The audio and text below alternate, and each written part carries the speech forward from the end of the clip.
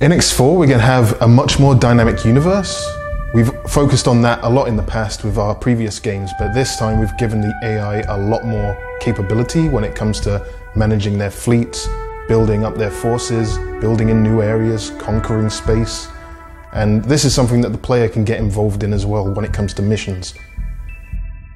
The great thing about our more dynamic factions in this game is that they change the universe much more than ever before and even for us, it's not always predictable what it's going to look like. Every start is different.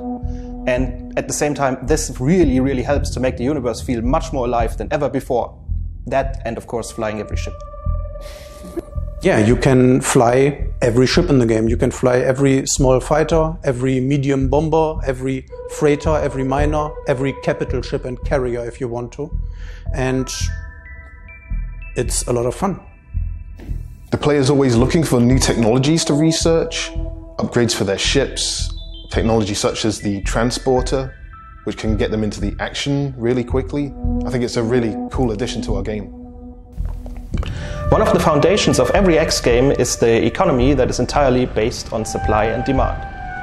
And it's happening all across the universe, whether you are there to see it or not.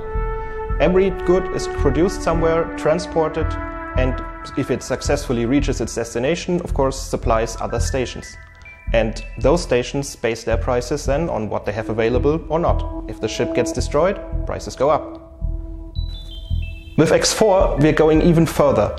It's not just the general wares that are being traded, but every aspect of the economy. That includes building ships or stations.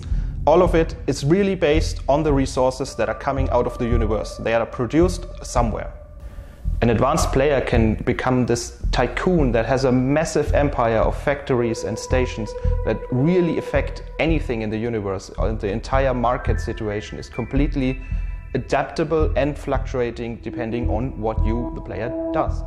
The first person experience is completely seamless. There are no loading screens when you fly from uh, fly your ship, land on a platform, get out of your ship, uh, talk to a guy, go back to your ship and undock again. Everything is perfectly seamless. For X4 I created new shaders for the backgrounds and especially for the planets. We added some new features um, where I can now control the sea level, the size of the polar caps, uh, the cloud cover, atmosphere density and also population uh, to dynamically adjust the planet uh, during the design process. One of the coolest features in X4 is management of NPCs. Pilots, for example. If a pilot steers your ship, he will be sitting on the pilot chair, of course, and it is very easy to take over the control. You just click on the chair, the guy gets up, you sit down and take over the control of the ship. He disappears to the back of the ship, and the moment you get up again, he comes back and takes over the control again and will continue whatever he was doing before. So if you give commands to your ships, it is very easy to take over temporarily and do something yourself. Complicated commands like trade runs or more, more sophisticated uh, AI commands can always be given through the map interface. The map is your one gateway to everything in the game and um, you can control large fleets of ships with it. And um, the moment you jump into any of those ships through teleportation, you can, you can take over each and every one of those ships very quickly. This is a very cool feature and one of the highlights of X4. The map has become an awesome tool to manage your universe-wide empire. You can uh, see an entire overview and then zoom in seamlessly to micromanage even the smallest things if you want. You can turn on and off several info layers for trading and other things. You can give commands to your ships directly on the map. It's really cool.